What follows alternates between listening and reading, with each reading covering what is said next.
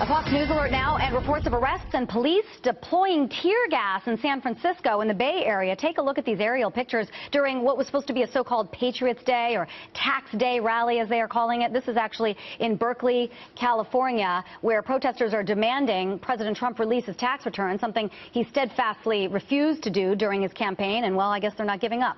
The group was met, though, with pro-Trump demonstrators this morning as police and riot gear stood by to watch these two groups clash. We'll have more on this developing story as we get it.